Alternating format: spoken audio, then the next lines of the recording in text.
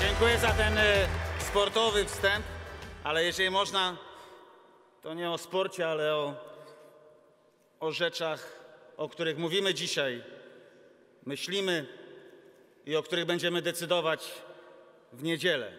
Bo tak jak wszyscy mówimy, ten czas jest ogromnie ważny. Ta kampania się kończy, jesteśmy po kilku miesiącach i podsumowujemy te tygodnie kampanii, ale przecież też te cztery lata, ostatnie cztery lata. I dlatego, tak jak tutaj siedzimy, myślimy i spoglądamy wstecz, to musimy sobie zadać pytanie, co było cztery lata temu w kampanii, jak ją kończyliśmy, a co jest teraz? Czy po czterech latach rządu PiS poprawiła się ochrona zdrowia w Polsce? Nie. Czy po czterech latach rządu PiS w Polsce jest lepsza szkoła?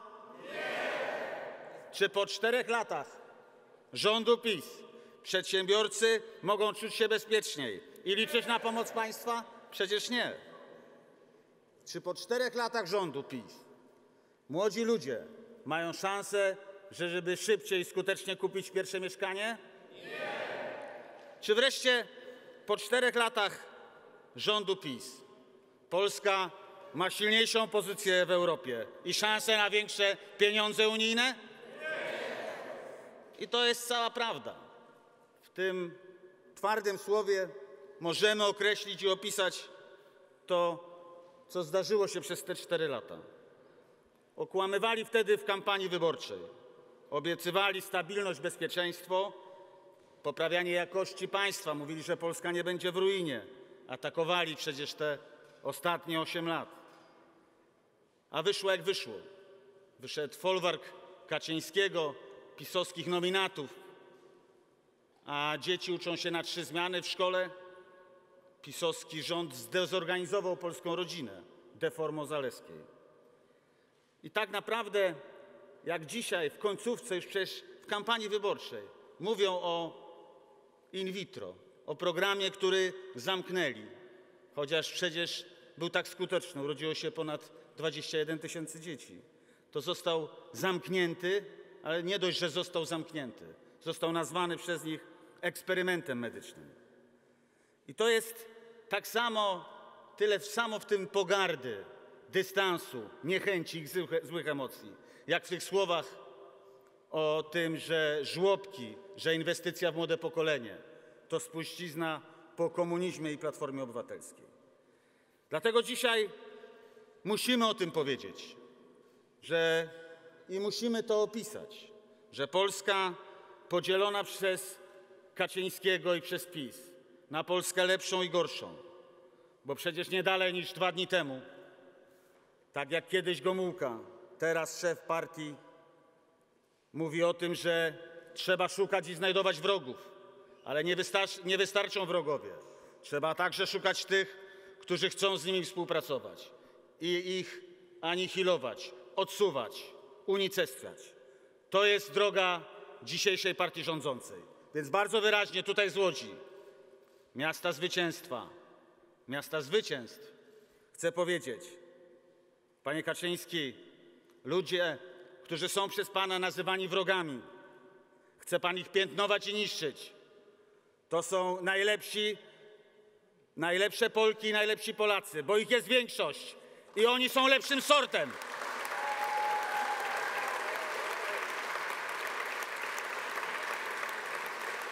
Oni są lepszym sortem, bo są większością, bo myślą tak jak my wszyscy. Bo Pan chce dzisiaj wymieniać elity, tak jak wymienialiście czy wymieniacie sędziów w Sądzie Najwyższym. Najlepszych fachowców, najlepszych sędziów zastępują dzisiaj hejterzy, najlepszych menadżerów w spółkach Skarbu Państwa. Zarabiają nieudacznicy tylko dlatego, że mają pisowskie legitymacje w kieszeniach. Proszę nie straszyć Polek i Polaków. Polska to dumny kraj i przestraszyć się panu nie da.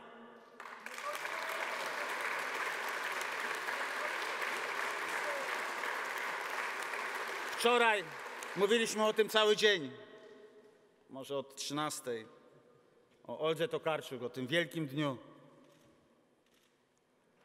Mówił o tym też prezydent Trzaskowski o czytaniu książek do końca. To nie jest, to zawsze jest przydatne, bo Warto także to przypomnieć ministrowi kultury, to szczególnie smakuje.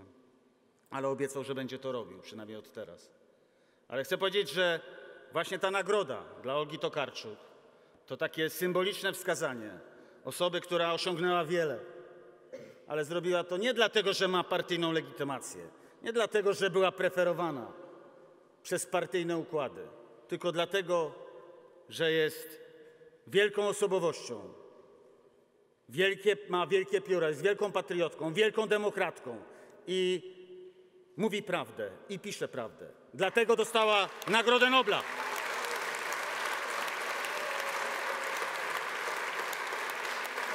I to jest symbol, z którego dzisiaj i zawsze będziemy dumni. Będziemy dumni z tych, którzy rozsławiają Polskę w całym świecie. Wybitne Polki, Polacy. A robią to dlatego, że Polskę kochają, dlatego, że mają umiejętności, dlatego, że są z niej dumni. I zobaczmy na to, jak preferuje się tych nieudaczników, którzy tworzą Polską Fundację Narodową, która właśnie tym się ma zajmować. Dziesiątki milionów złotych wyrzuconych, poświęconych partyjnym kolegom, którym symbolem jest zniszczony jacht gdzieś na wybrzeżu Stanów Zjednoczonych.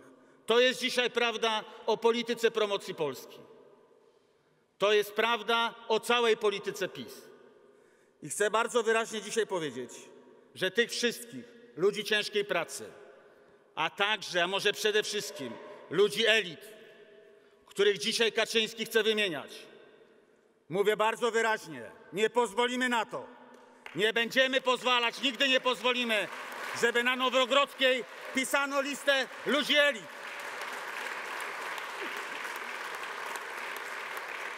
I chcę powiedzieć, że dzisiaj mówimy twardo, że nie będzie zgody na łamanie zasad, na łamanie demokracji, na łamanie praworządności, ale przecież mówimy i marzymy o normalnym państwie.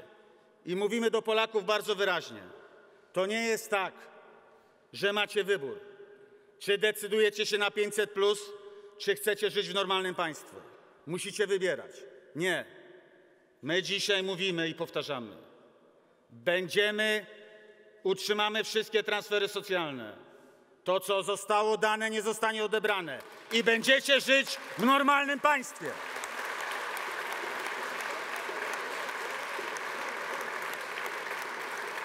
Bo na tym polega różnica między nami, że my w polityce jesteśmy dla ludzi, a nie dla siebie jak oni. I chcę powiedzieć dzisiaj, tak jak stoimy, dzisiaj to nasze ostatnie duże spotkanie ogólnopolskie. Chcę podziękować tym wszystkim, którzy byli z nami przez te ostatnie tygodnie kampanii, którzy rozdawali ulotki, czasami w nocy, w dzień, wszędzie. Tym, którzy w akcji Silni Razem rozdawali, rozklejali, roznosili banery. Ci wszyscy wspierali nas przez te tygodnie kampanii. Chcę podziękować jednej osobie szczególnie. Chcę podziękować Krzysztofowi Brejzie, szefowi kampanii, który w sposób najbardziej dramatyczny i drastyczny odczuł ten hejt nienawiści, o którym mówili prezydenci. On był na pierwszej linii frontu. On czy w Warszawie, czy w Inowrocławiu u siebie, czy lepiąc, doklejając, czy zawieszając banery, był zawsze na pierwszej linii. Dzisiaj serdecznie stąd go pozdrawiam. Ale chcę podziękować wolontariuszom, kandydatom za ich wielką pracę, ale także tym wszystkim, którzy przez cztery lata tak twardo walczyli o polską normalność. Sędziom, nauczycielom, niepełnosprawnym ich opiekunom, mniejszościom, pracownikom obrońców lasów, kobietom z czarnych protestów, tym wszystkim, którzy mieli odwagę mówić, nie pozwalamy na zniszczenie naszych wolności i naszych praw. I tych ludzi było i jest zawsze większość. I zawsze będziemy mówić i zawsze będziemy przypominać. Tak jak powiedziała wczoraj nasza noblistka. To są bardzo ważne wybory. Od Was wszystko zależy. Głosujcie na demokrację. Głosujcie na demokrację w niedzielę 13 października i wtedy zwyciężymy. Dziękuję bardzo.